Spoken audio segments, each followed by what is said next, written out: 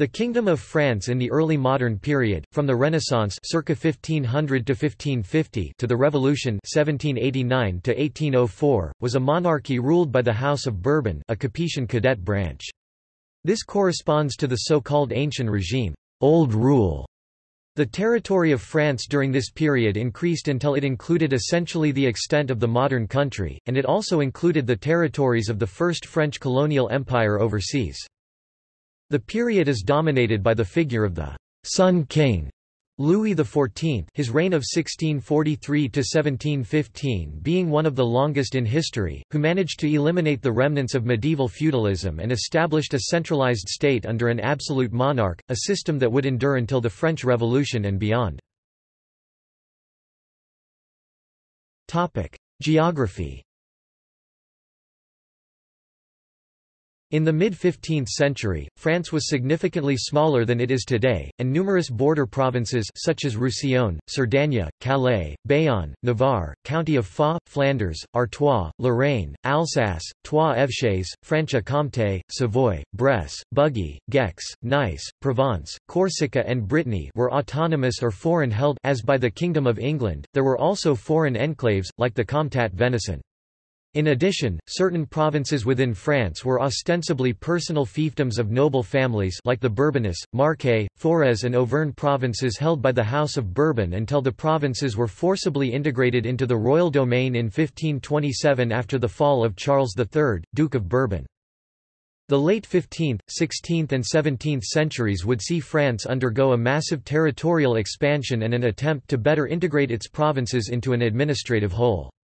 During this period, France expanded to nearly its modern territorial extent through the acquisition of Picardy, Burgundy, Anjou, Maine, Provence, Brittany, Franche-Comté, French Flanders, Navarre, Roussillon, the Duchy of Lorraine, Alsace and Corsica. French acquisitions from 1461 to 1789 under Louis XI, Provence 1482, Dauphiné 1461, under French control since 1349 under Henry II, Calais, Trois-Évêchés 1552. Under Henry IV, County of Foix 1607. Under Louis XIII, Bayonne and Navarre 1620, under French control since 1589 as part of Henry IV's possessions. Under Louis XIV Treaty of Westphalia 1648 Alsace Treaty of the Pyrenees 1659 Artois, Northern Catalonia Roussillon, Cerdagne Treaty of Nijmegen 1678 Franche-Comté, Flanders under Louis XV, Lorraine 1766, Corsica 1768 only the Duchy of Savoy, the city of Nice and some other small papal e.g., Avignon and foreign possessions would be acquired later. For a map of historic French provinces, see Provinces of France. France also embarked on exploration, colonization, and mercantile exchanges with the Americas New France, Louisiana, Martinique, Guadeloupe, Haiti, French Guiana, India Pondicherry, the Indian Ocean Réunion, the Far East, and a few African trading posts. Although Paris was the capital of France, the later Valois kings largely abandoned the city as their primary residence, preferring instead various chateaux of the Loire Valley and Parisian countryside. Henry IV made Paris his primary residence promoting a major building boom in private mansions, but Louis XIV once again withdrew from the city in the last decades of his reign and Versailles became the primary seat of the French monarchy for much of the following century. The administrative and legal system in France in this period is generally called the Ancien regime. Demography The Black Death had killed an estimated one-third of the population of France from its appearance in 1348. The concurrent Hundred Years' War slowed recovery. It would be the early 16th century before the population recovered to mid-14th century levels. With an estimated population of 11 million in 1400, 20 million in the 17th century, and 28 million in 1789, until 1795 France was the most populated country in Europe even ahead of Russia and twice the size of Britain or the Netherlands and the third most populous country in the world, behind only China and India. These demographic changes also led to a massive increase in urban populations, although on the whole France remained a profoundly rural country. Paris was one of the most populated cities in Europe estimated at 400,000 inhabitants in 1550, 650,000 at the end of the 18th century. Other major French cities include Lyon, Rouen, Bordeaux, Toulouse, and Marseille. These centuries saw several periods of epidemics and crop failures due to wars and climatic change. Historians speak of the period 1550 to 1850 as the Little Ice Age. Between 1693 and 1694, France lost 6% of its population. In the extremely harsh winter of 1709, France lost 3.5% of its population. In the past 300 years, no period has been so proportionally deadly for the French, both world wars included. Language Linguistically, the differences in France were extreme. Before the Renaissance, the language spoken in the north of France was a collection of different dialects called oil languages whereas the written and administrative language remained Latin. By the 16th century, there had developed a standardized form of French called Middle French which would be the basis of the standardized modern French of the 17th and 18th century which in turn became the lingua franca of the European continent. In 1539, with the Ordinance of Villers-Cotterêts, Francis I of France made French alone the language for legal and juridical acts. Nevertheless, in 1790, only half of the population spoke or understood Standard French. The southern half of the country continued to speak Occitan languages such as Provençal, and other inhabitants spoke Breton, Catalan, Basque, Dutch West Flemish, and Franco-Provençal. In the north of France, regional dialects of the various langues d'oil continued to be spoken in rural communities. During the French Revolution, the teaching of French was promoted in all the schools. The French used would be that of the legal system, which differed from the French spoken in the courts of France before the Revolution. Like the orators during the French Revolution, the pronunciation of every syllable would become the new language. France would not become a linguistically unified country until the end of the 19th century. Administrative structures The Ancien Régime, the French term rendered in English as «Old Rule», «Old Kingdom», or simply «Old Regime», refers primarily to the aristocratic, social and political system established in France from roughly the 15th century to the 18th century under the late Valois and Bourbon dynasties. The administrative and social structures of the ancien régime were the result of years of state building, legislative acts like the Ordinance of Villers-Cotterêts, internal conflicts and civil wars, but they remained a confusing patchwork of local privilege and historic differences until the French Revolution took place in a radical time suppression of administrative incoherence. Economy Culture Topic: Political history. Topic: Background. The Peace of Étaples 1492 marks, for some, the beginning of the early modern period in France. After the Hundred Years' War 1337 and the Treaty of Picquigny 1475 its official end date, in 1492 and 1493, Charles VIII of France signed three additional treaties with Henry VII of England, Maximilian I of Habsburg, and Ferdinand II of Aragon respectively at Étaples 1492, Senlis 1493 and in Barcelona 1493. As the 15th century drew to a close, French kings could take confidence in the fact that England had been mostly driven from their territory and so they could now embark on an expansionist foreign policy. The invasion of Italy by Charles VIII in 1494 began 62 years of war with the Habsburgs the Italian Wars. Foreign relations Wars Despite the beginnings of rapid demographic and economic recovery after the Black Death of the 14th century, the gains of the previous half-century were to be jeopardized by a further protracted series of conflicts, the Italian Wars 1494 where French efforts to gain dominance ended in the increased power of the Habsburg Holy Roman Emperors of Germany. In 1445, the first steps were made towards fashioning a regular army out of the poorly disciplined mercenary bands that French kings traditionally relied on. The medieval division of society into those who fought nobility, those who prayed clergy, and those who worked everyone else, still held strong and warfare was considered a domain of the nobles. Charles VIII marched into Italy with a core force consisting of noble horsemen and non-noble foot soldiers, but in time the role of the latter grew stronger so that by the middle of the 16th century, France had a standing army of 5,000 cavalry and 30,000 infantry. The military was reorganized from a system of legions recruited by province Norman Legion, Gascon Legion, etc. to regiments, an arrangement which persisted into the next century.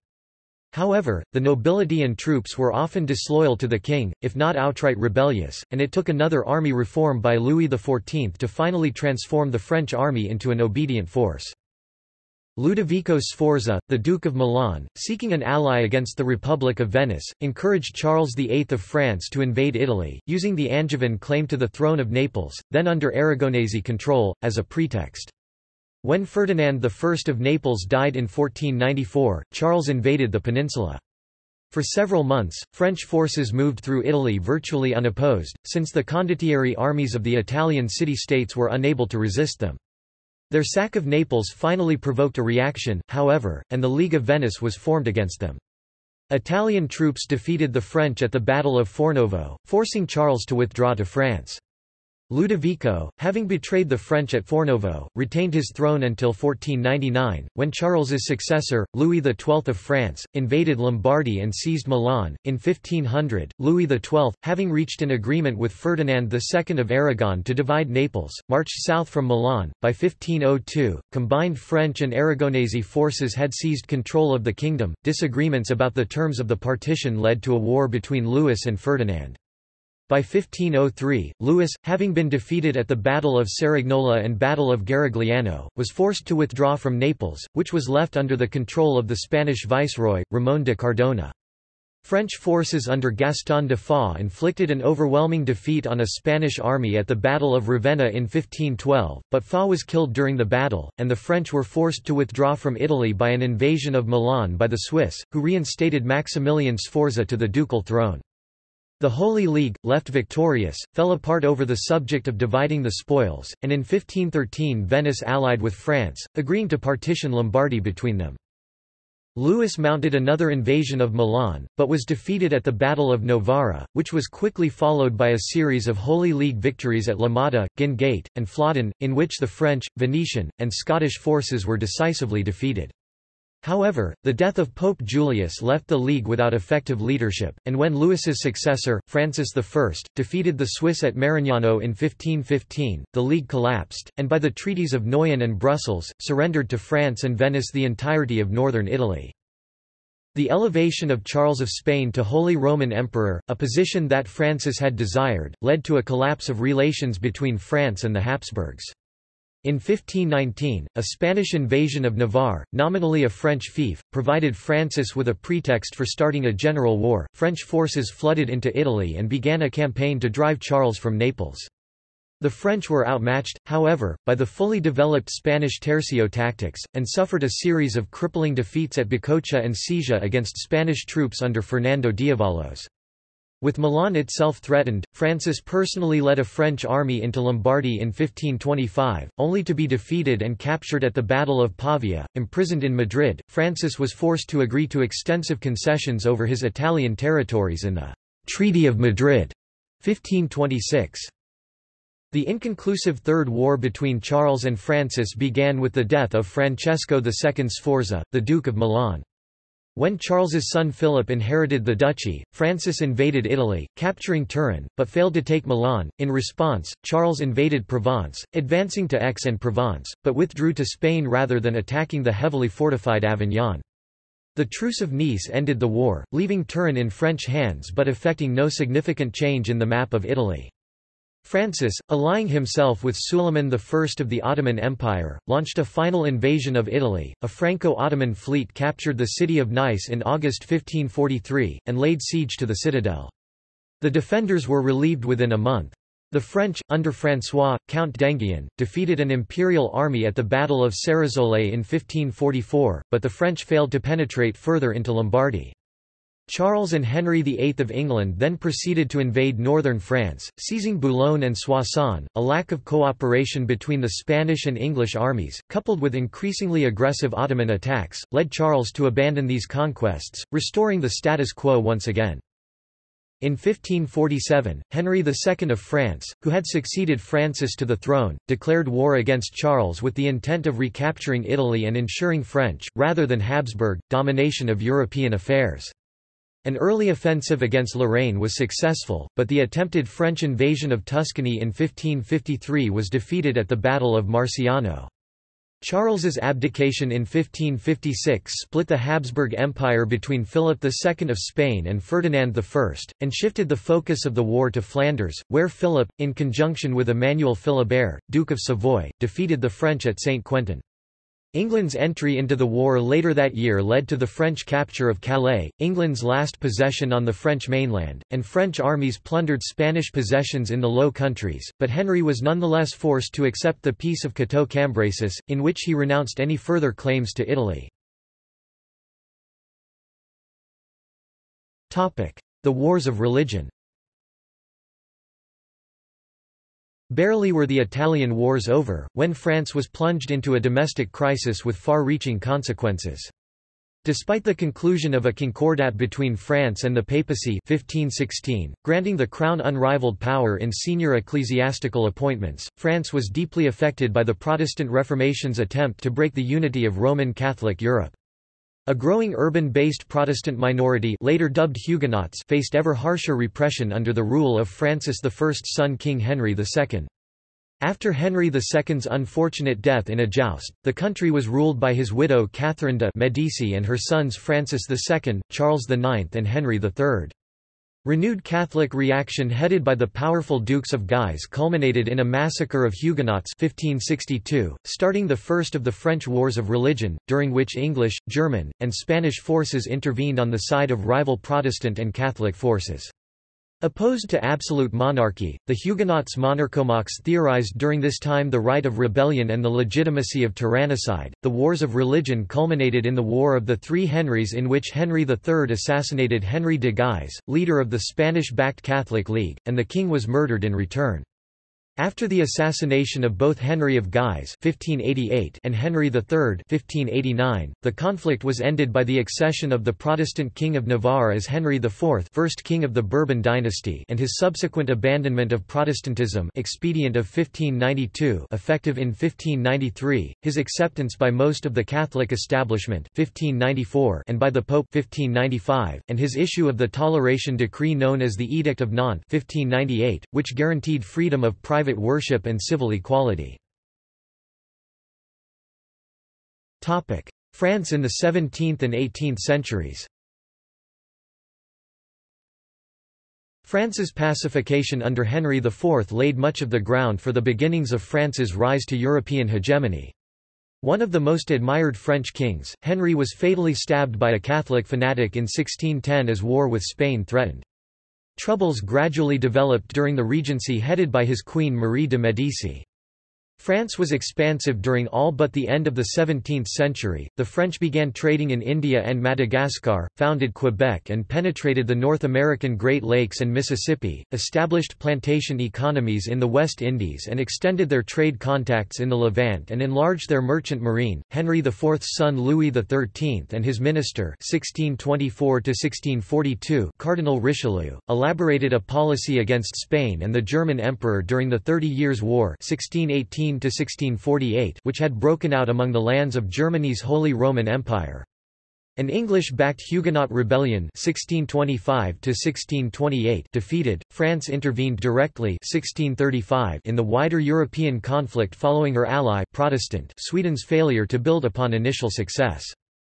After the death of both king and cardinal, the Peace of Westphalia 1648 secured universal acceptance of Germany's political and religious fragmentation, but the regency of Anne of Austria and her minister Cardinal Mazarin experienced a civil uprising known as the Fronde 1648 which expanded into a Franco-Spanish War 1653 .The Treaty of the Pyrenees 1659 formalized France's seizure 1642 of the Spanish territory of Roussillon after the crushing of the ephemeral Catalan Republic and ushered a short period of peace. For most of the reign of Louis XIV (1643–1715), France was the dominant power in Europe, aided by the diplomacy of Richelieu's successor (1642–1661), Cardinal Mazarin, and the economic policies (1661–1683) of Colbert. Colbert's attempts to promote economic growth and the creation of new industries were not a great success, and France did not undergo any sort of industrial revolution during Louis XIV's reign. Indeed, much of the French countryside during this period remained poor and overpopulated. The resistance of peasants to adopt the potato, according to some monarchist apologists, and other new agricultural innovations while continuing to rely on cereal crops led to repeated catastrophic famines long after they had ceased in the rest of Western Europe. Prior to Louis XIV's reign, French soldiers frequently went into battle barefoot and with no weapons. On the other hand, France's high birth rate until the 18th century proved beneficial to its rulers since it meant the country could field larger armies than its neighbours. In fact, the king's foreign policy, as well as his lavish court and construction projects, left the country in enormous debt. The Palace of Versailles was criticized as overly extravagant even while it was still under construction, but dozens of imitations were built across Europe. Renewed war the War of Devolution 1667–1668 and the Franco-Dutch War 1672–1678 brought further territorial gains Artois and western Flanders and the Free County of Burgundy, left to the Empire in 1482, but at the cost of the increasingly concerted opposition of rival powers. French culture was part of French hegemony. In the early part of the century French painters had to go to Rome to shed their provinciality Nicolas Poussin, Claude Lorrain, but Simon Vouet brought home the taste for a classicized Baroque that would characterize the French Baroque, epitomized in the Académie de peinture et de sculpture, in the painting of Charles Le Brun and the sculpture of François Girardon. With the Palais du Luxembourg, the Château de Maisons and Vaux-le-Vicomte, French classical architecture was admired abroad even before the creation of Versailles or Perrault's Louvre colonnade. Parisian salon culture set standards of discriminating taste from the 1630s, and with Pascal, Descartes, Bayle, Corneille, Racine and Molière, France became the cultural centre of Europe. In an effort to prevent the nobility from revolting and challenging his authority, Louis implemented an extremely elaborate system of court etiquette with the idea that learning it would occupy most of the nobles' time and they could not plan rebellion. By the start of the 18th century, the nobility in France had been effectively neutered and would never again have more power than the crown. Also, Louis willingly granted titles of nobility to those who had performed distinguished service to the state so that it did not become a closed caste and it was possible for commoners to rise through the social ranks. The king sought to impose total religious uniformity on the country, repealing the Edict of Nantes in 1685. The infamous practice of dragonnades was adopted, whereby rough soldiers were quartered in the homes of Protestant families and allowed to have their way with them. Scores of Protestants fled France, costing the country a great many intellectuals, artisans, and other valuable people. Persecution extended to unorthodox Catholics like the Jansenists, a group that denied free will and had already been condemned by the popes. Louis was no theologian and understood little of the complex doctrines of Jansenism, satisfying himself with the fact that they threatened the unity of the state. In this, he garnered the friendship of the papacy, which had previously been hostile to France because of its policy of putting all church property in the country under the jurisdiction of the state rather than of Rome. Cardinal Mazarin oversaw the creation of a French navy that rivaled England's, expanding it from 25 ships to almost 200. The size of the army was also considerably increased. Starting in the 1670s, Louis XIV established the so-called Chambers of Reunion, courts in which judges would determine whether certain Habsburg territories belonged rightfully to France. The king was relying on the somewhat vague wording in the Treaty of Westphalia, while also dredging up older French claims, some dating back to medieval times. Through this, he concluded that the strategically important imperial city of Strasbourg should have gone to France in 1648. In September 1681, French troops occupied the city, which was at once strongly fortified. As the imperial armies were then busy fighting the Ottoman Empire, they could not do anything about this for a number of years. The basic aim of Louis's foreign policy was to give France more easily defensible borders, and to eliminate weak spots Strasbourg had often been used by the Habsburgs as a gateway into France. Following the Whig establishment on the English and Scottish thrones by the Dutch Prince William of Orange in 1688, the anti-French Grand Alliance of 1689 was established. With the Turks now in retreat, the Emperor Leopold could turn his attention to France. The ensuing War of the Grand Alliance lasted from 1688 to 1697. France's resources were stretched to the breaking point by the cost of fielding an army of over 300,000 men and two naval squadrons. Famine in 1692–1693 killed up to 2 million people. The exhaustion of the powers brought the fighting to an end in 1697, by which time the French were in control of the Spanish Netherlands and Catalonia. However, Louis gave back his conquests and gained only Haiti. The French people, feeling that their sacrifices in the war had been for nothing, never forgave him. The Battle of La Hogue 1692 was the decisive naval battle in the war and confirmed the durable dominance of the Royal Navy of England. In November 1700, the inbred, mentally retarded, and enfeebled Spanish King Charles II died, ending the Habsburg line in that country. Louis had long waited for this moment, and now planned to put a Bourbon relative, Philip, Duke of Anjou, on the throne. Essentially, Spain was to become an obedient satellite of France, ruled by a king who would carry out orders from Versailles. Realizing how this would upset the balance of power, the other European rulers were outraged. However, most of the alternatives were equally undesirable. For example, putting another Habsburg on the throne would end up recreating the empire of Charles V, which would also grossly upset the power balance. After nine years of exhausting war, the last thing Louis wanted was another conflict. However, the rest of Europe would not stand for his ambitions in Spain, and so the War of the Spanish Succession began, a mere three years after the War of the Grand Alliance. The disasters of the war, accompanied by another famine, were so great that France was on the verge of collapse by 1709. In desperation, the king appealed to the French people to save their country, and in doing so gained thousands of new army recruits. Afterwards, his general Marshal Villars managed to drive back the Allied forces. In 1714, the war ended with the treaties of Utrecht and Rastatt. France did not lose any territory, and there was no discussion of returning Flanders or Alsace to the Habsburgs.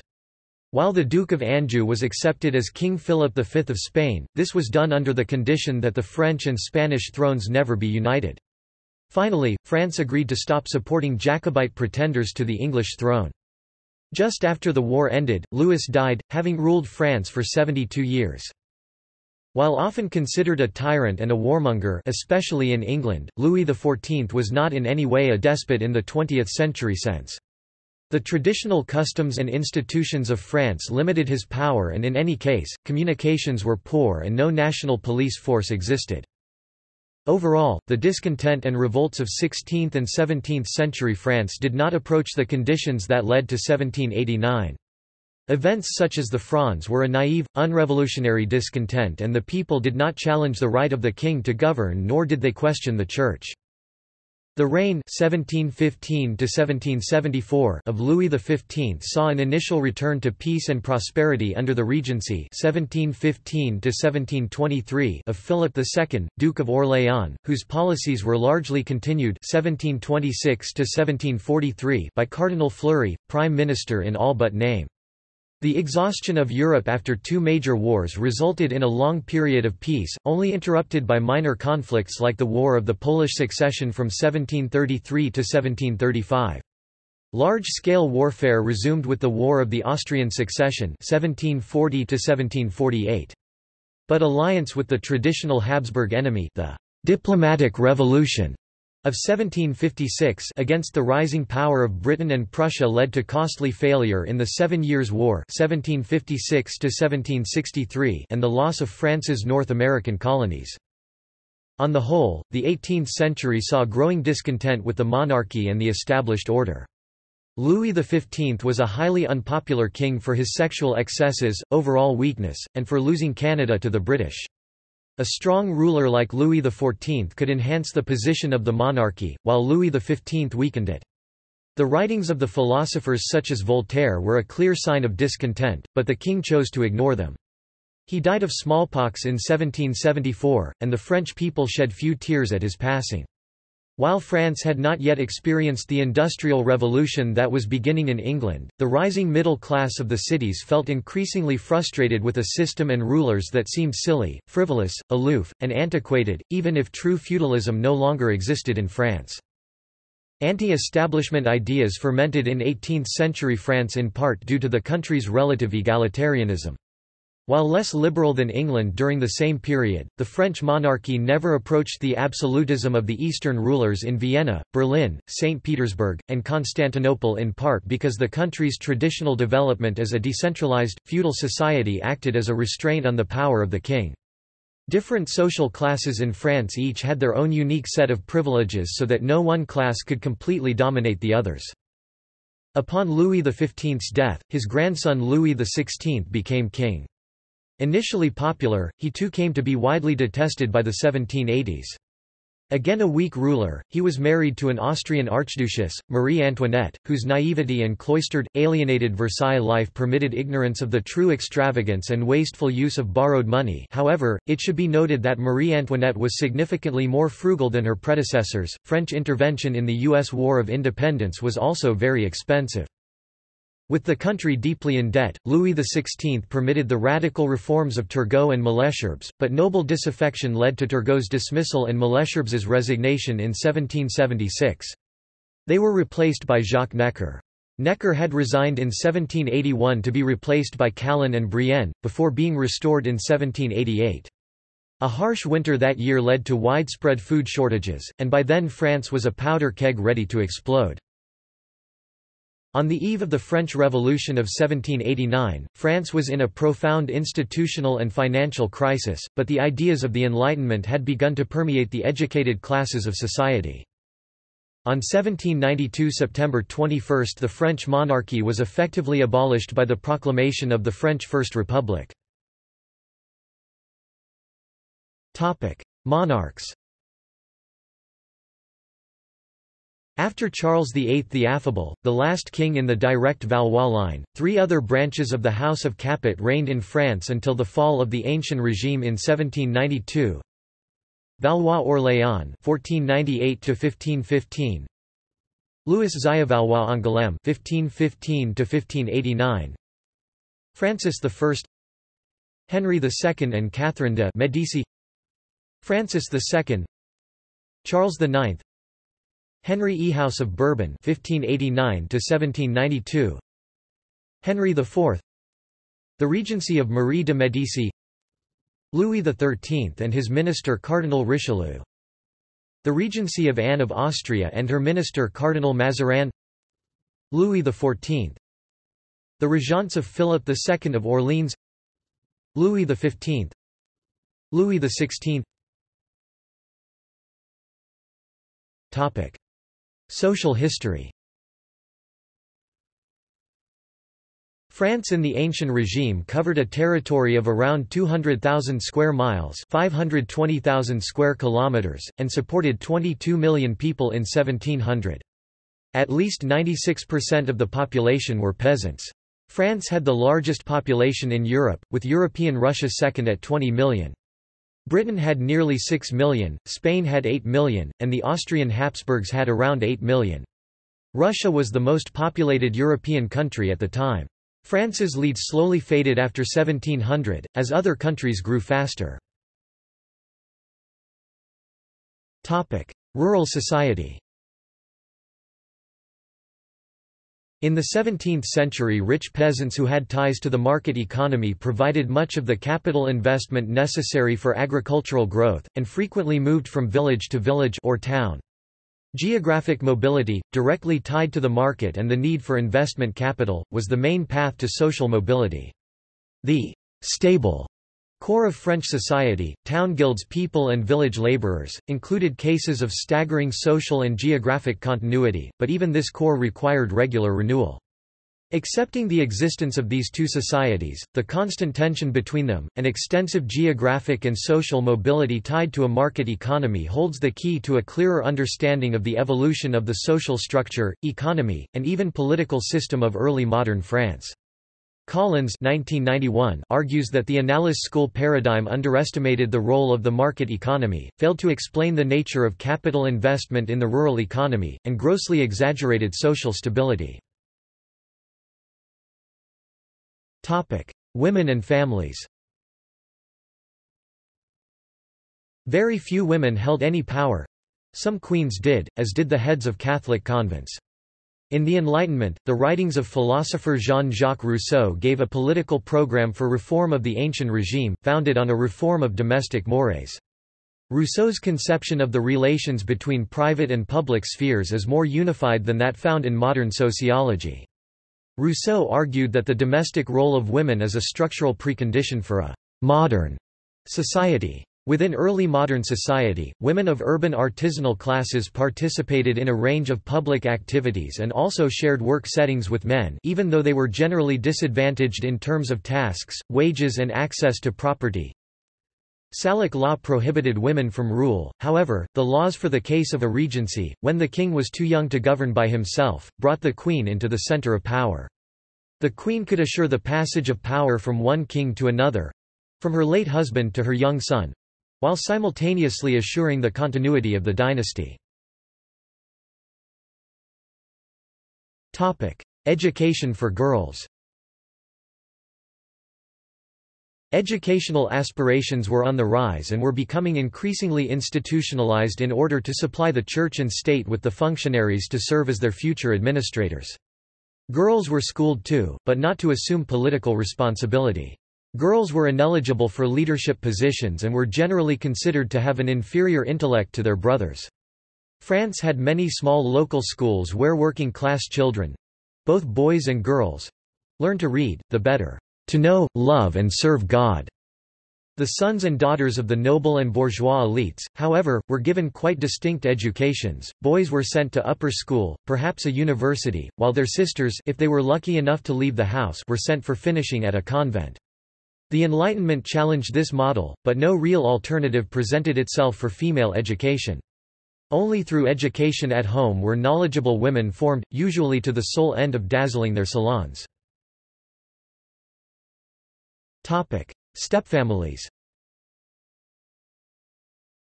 A large proportion of children lived in broken homes or in blended families and had to cope with the presence of half-siblings and step-siblings in the same residence.